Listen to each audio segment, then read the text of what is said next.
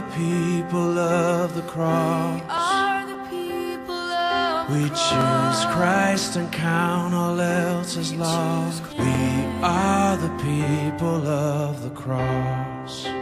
Good morning. This is Pastor Michael Scott from the desk of People of the Cross Church, located in Los Banos, California, on Highway 152, in the shopping center to where Baskin Robbins is. We're just across the parking lot from them. You can come and treat yourself to God's Word and then go across the way and treat yourself in another way. We'd like to invite you to come and visit us at any time. You may visit us and decide to make this your home. We would hope so.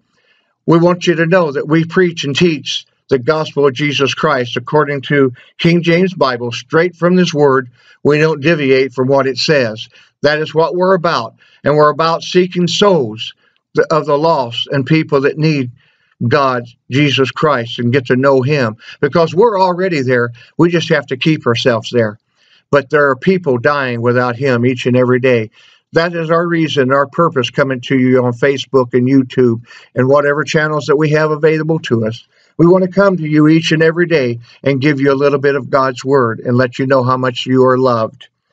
Today, I, I uh, am taking my text from from Luke. It says, Mary, Luke chapter 2, verse 19, says, Mary kept all the things and pondered them in her heart.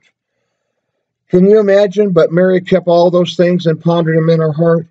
Thinking about means that the thoughts about them all constantly and wondering and not wondering or wondering about her son, Jesus Christ. And knowing when he was born and when he was birthed as a Virgin Mary, knowing the simple fact that there would be a day and a day very soon in his life that he would be taken from her. But knowing the fact that he was the Redeemer, he was Jesus sent by God, he was the only Son of God, and he came to this earth to live a life spotless, without a blemish, that no other man can do. He taught and he preached on this earth and to the day that he was crucified because they didn't believe to who he was and what he was. But I'm here to tell you today, he is our Redeemer. He is our salvation. He is our soon coming King. And those that are ready will go up to be with him and forever in eternity in him in heaven. But I am here to preach or teach to those love of Jesus Christ. As I've already did one day this week of talking, but Jesus, God sent his only son on this earth that died for your sins. And all we have to do is ask and be forgiven. I'm going to talk to you here just a little bit. It's talking about us parents and our children. Parents love to remember the development and the milestones in our children's life. There's many things that we can think about and it just makes us smile, even though it's been 30, 40, 50 years. I often think of one of my son when he hit the hit the steps and knocked out that front tooth. He just went crazy. He thought that was the biggest thing in the world. And me, I'd have to go down and spend hundreds of dollars to get a new tooth, thousands to get a new tooth put in. But he thought it was funny. There's just many things that we can think of. Or my other son, I'm going to be winner again. You know what? I'm going to take that saying, and you can be a winner by joining the army of Jesus Christ, becoming one of Him, be one of His children today. Oh, that would make me so happy to know that something we have said or done through this uh, ministry that you accepted Jesus Christ as your Savior, and we would love to have you here at the church. But I'm going to go on, though they they will record in a baby's book when their little ones first roll over, when they crawl, the first steps, often they will take many photographs and save and bring back memories and precious experience that we have with our children. Those are all great. But I want to tell you there's another precious moment that Jesus wants to do for his children and that he would left us in to have you enter his fold. According to Luke 2 and 19, Mary, the mother of Jesus Christ, kept a baby book of sorts in her heart. She treasured the promises that had been given about her son, promises from God about her son. Can you imagine that the son that you bore, that you had born to, the mother of, Jesus Christ, the Savior of the world? I, I don't know how I could ever sit still to know that that was my son. That is so precious to me, but also knowing that she's going to have to give him up means that she pondered. The Greek word ponder means placing together of comparisons.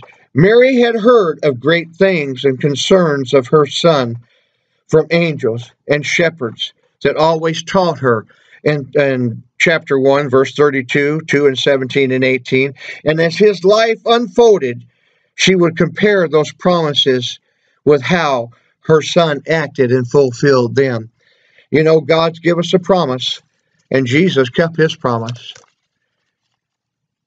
Our faith will be strengthened and we will be encouraged when we meditate on what scriptures say about God and comparing it with the ways he works in our lives. John talks about different things in, in chapter 14 and 21.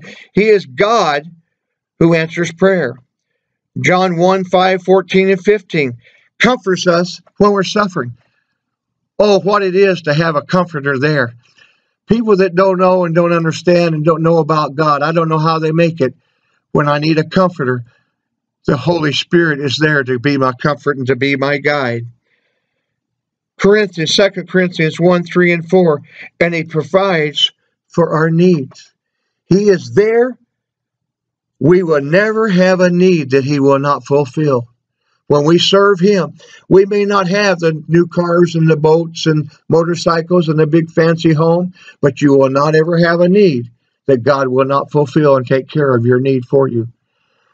Sometimes we think He's a little late, but I got news for you. God is never late, He's always on time. He sometimes takes these things to teach us about Him, teaches us patience, teaches us love and kindness.